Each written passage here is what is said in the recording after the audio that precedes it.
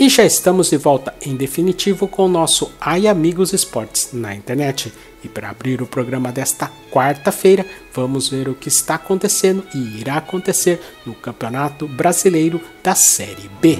Se você quiser, pode Resultados. A 34ª rodada do Campeonato Brasileiro 2017 da Série B terminou ontem à noite. Em Fortaleza, no Ceará, na Arena do Castelão, Ceará e Guarani empataram em 2 a 2. O Vovozão continua em terceiro lugar e muito perto do acesso à Série A. Já o Bugre continua na 15ª colocação e ameaçadíssimo de rebaixamento.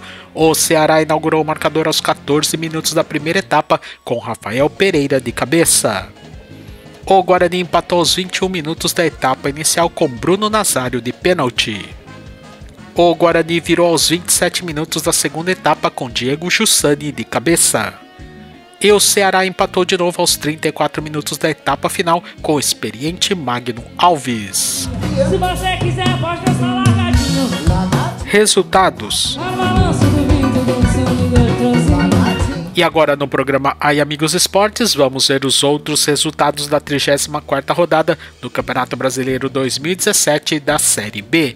Em Goiânia, Goiás, no estádio do Serra Dourada, Vila Nova e Santa Cruz empataram em 1 a 1.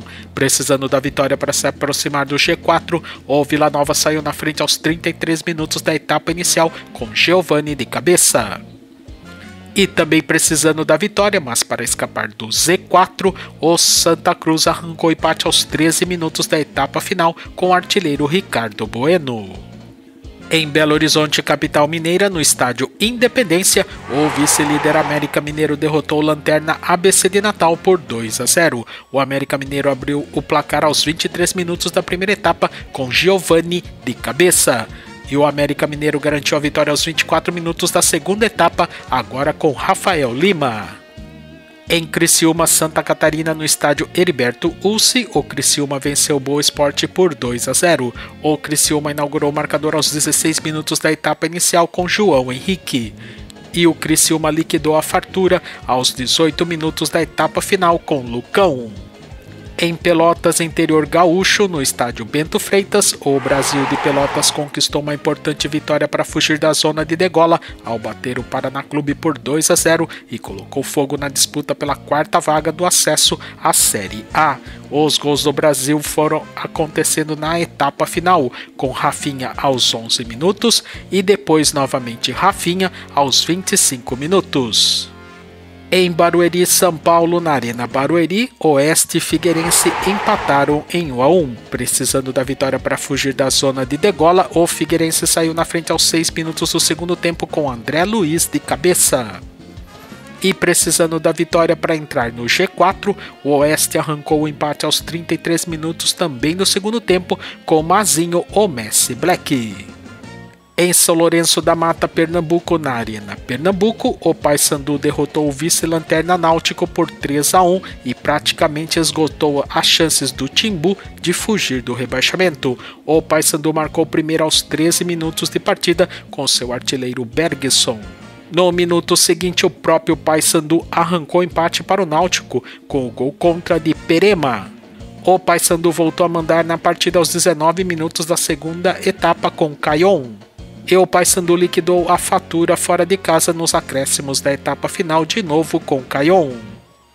Em Londrina, no Paraná, no Estádio do Café, o Londrina conquistou uma importante vitória sobre o Goiás por 2 a 0 e retornou à luta pelo acesso à Série A. Os gols do Londrina aconteceram na etapa final com Arthur aos 7 minutos e, para garantir o excelente resultado, Carlos Henrique aos 17 minutos da etapa final.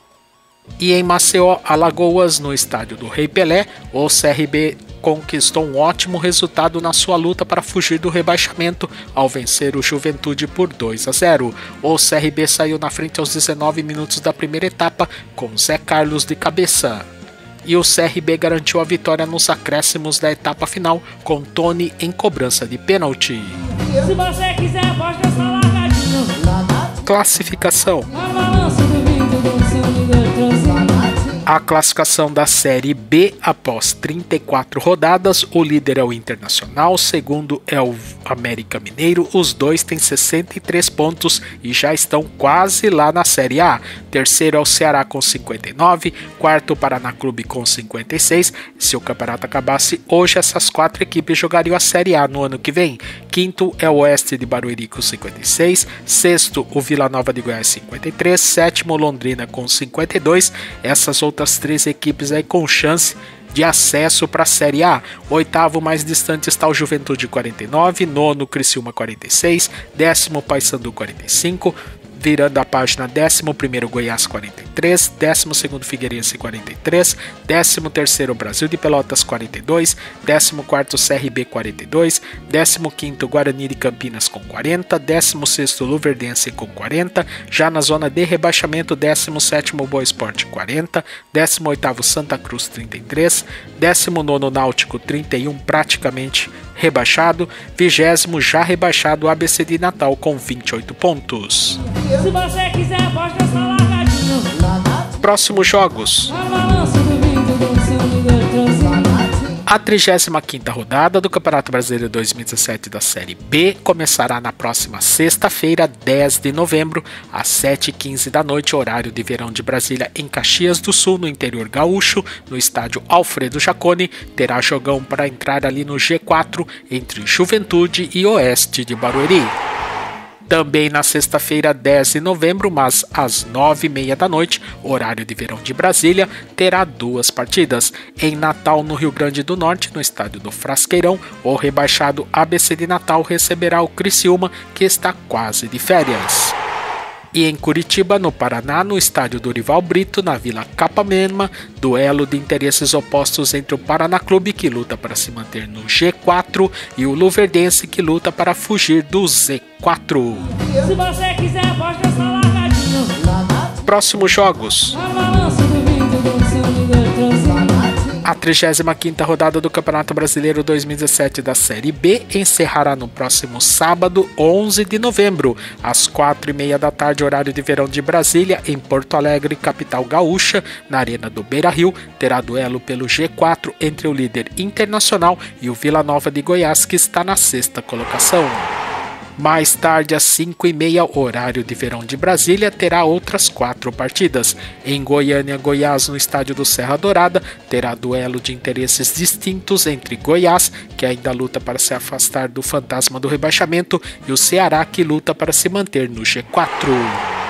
Em Florianópolis, Santa Catarina, no estádio Orlando Scarpelli, outro duelo de interesses opostos entre Figueirense, que ainda luta contra o rebaixamento, e o vice-líder América Mineiro, que se aproxima do acesso à Série A. Em Varginha, Minas Gerais, no estádio Dilson Melo, no Melão, terá briga direta contra o rebaixamento entre Boa Esporte e Santa Cruz.